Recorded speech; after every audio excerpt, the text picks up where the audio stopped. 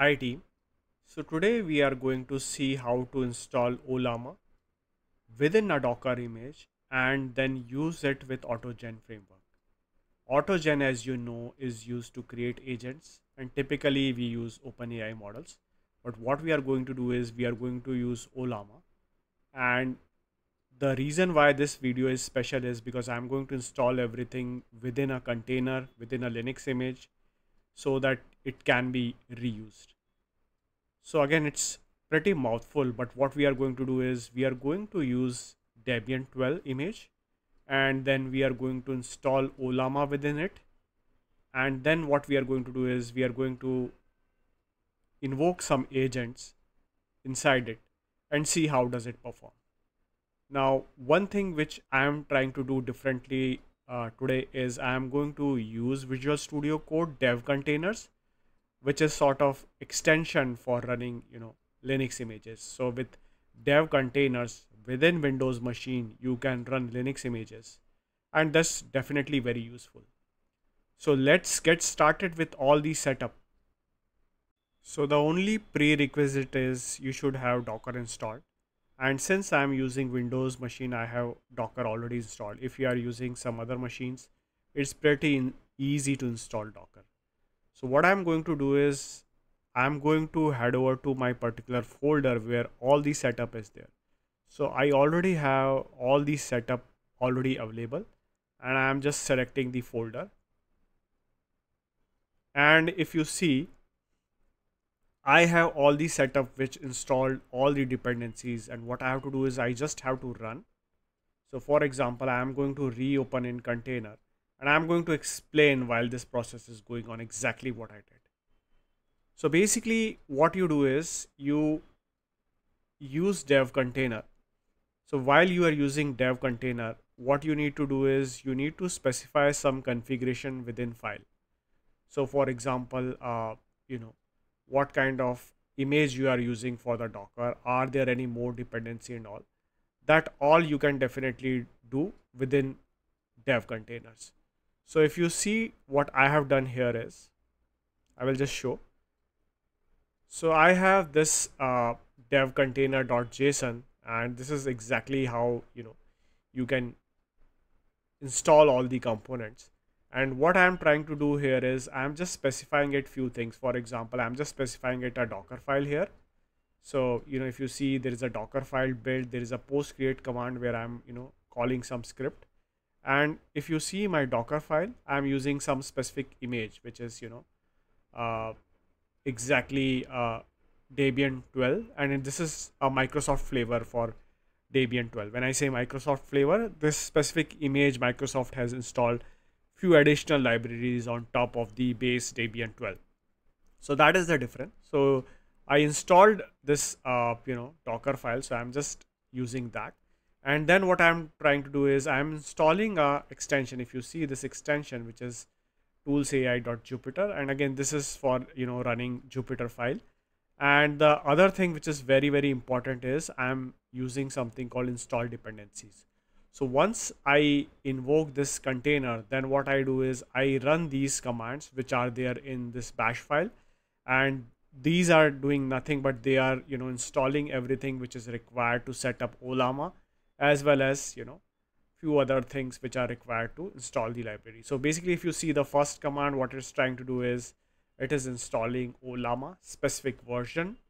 Then the second command what it's trying to do is it's running Ollama and third is nothing but you know sleeping for five seconds fourth is actually pulling an actual model called llama 3.2 and i i believe it's a, a you know smaller model and that's what it's going to do. And then what we are going to do is we are just uh, you know installing everything which is there in requirement.txt so if you see you know all the files which are there we are just installing it uh, uh, with requirement.txt so basically the advantage of using this whole configuration with the dev container is you have everything ready within a Linux container and actually I'm running Debian. So in case I need to deploy it to production, it's pretty much easy. I have everything installed. Definitely I can make some changes. Like for example, rather than using this post create command, I can put everything in Docker file. That's also I can do. But the essential advantage is whatever environment I'm going to run on Windows, same environment I'm going to run, uh, you know, in the production also. So since I'm using Debian 12 images, if I need to put it in production and I'm use I'm using Debian 12, the step will be definitely much more easier. So I'm just developing locally for Debian and going to use it for productizing also. So this is exactly what we have done. So dev container.json, which actually references a Docker file, which contains a base image, base Linux image, which we are using. And again, what we are trying to do is we are, you know, installing, uh, you know, some dependencies, which means some uh, Python uh, libraries as well as running the Ollama as well as pulling a Ollama model. And while it's uh, uh, downloading, what I'm going to do is I'm going to pause and once it's finished, I'm going to see code and code is pretty much simple. It's not as complicated, but the idea is you have everything running for you already and it's already available for you. So you just need to, you know, focus on code rather than setup. So now my setup is done. So let me see if we if I can run few things. So basically again, uh, the idea was to see exactly if my all the dependencies are already ready. So one uh, apology, I said it's uh, you know uh, Debian 12, but what I meant to say was Python 3.12 rather than Debian 12. So if I run the Python minus minus version as such, so what I'm going to see is I'm going to see the exact Python version. And if I give you the next command which is cat etcs os release what it is going to do is it's going to tell me exactly which Linux version I'm working on. So if you see it's bullseye. I believe it's uh, Debian 11 not Debian 12 but the essential idea is we are running this specific version of Debian along with Python 3.12 if I need to see whether my you know Ollama is working or not I can just see you know uh, if it's available. I just can type within my command Ollama you know minus v and it says it's working. And I can also see the list of all the uh, you know models that are already available and see if they are installed or not. So if you see those are all installed so I have Python sorry I have Llama 3.2 which is the latest version within Ollama the uh, smallest uh, model I, I believe is 1 billion and this is I think 2 billion model.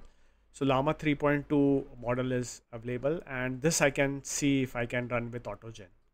So my all so the idea is my the, my all the setup is already available here and let's try to run few code. So let's see the Python notebook. So we have this Python notebook open. And what I can do is I can run all. So I can try to run all. If you see it already selected the correct Python version which is 3.12 so which is good.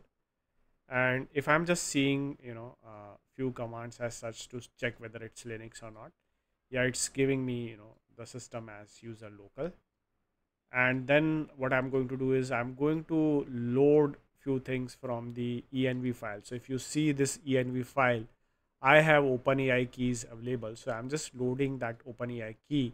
And the reason why I'm using OpenAI key is I just wanted to demonstrate first to run the AutoGen with OpenAI and then switch to Ollama. So that's what I'm going to do. Then I'm just doing one thing, which is I'm just instantiating GPT-4o mini and here is where OpenAI API key is available and everything is in dot environment file. So if you see this dot environment file, all configuration is there. So what I'm trying to do is I'm just asking a very, very basic question, which is what is the meaning of life? Answer in one line. So this is a very, very simple, uh, you know, bot as such. So what it's trying to do is it's just like, you know, trying to have a conversation. So if you see the answer, so the question which I asked was, what is the meaning of life? Answer in one line with GPT-4o. It is saying the meaning of life is subjective and varies for each individual and so on. So it was able to give me the answer. Now what I'm going to do is I'm going to switch now with Ollama. So first of all, I'm just seeing whether Ollama is working or not. So by default, it runs on 11434 port. So I just said, you know, call this command as such. So it says Ollama is running. And then what I did was uh, I just try to configure the Ollama as such. So if you see my, you know, LLM configuration file, I specify what model I am using. I am running only one model, which is 3.2. So within, uh, you know, my uh, installation instruction, if if you see, I just pulled Llama 3.2, which I believe is a smaller model. And then, you know, with some configuration like which specific port and all I'm running. And again, I can put it into environment file also, but for now, I just put it, here. And this is just a configuration change which is needed as such to switch to the Ollama part rather than using the OpenAI uh, models as such. So this is what I did. And again, I asked the same question, what is the meaning of life? Answer in one line. And it gave me some answer, which is the meaning of life is subjective and carry and can vary from person to person. The only difference was in the first case, we used GPT-4o mini. In the second case, we are using Ollama and it is using Llama 3.2 and this has been served from this specific port. So pretty simple example, but definitely we can go beyond this simple, you know, conversational agent to doing something much more complexer using Ollama Uh, so that's it for today. Thanks team. Thanks for watching.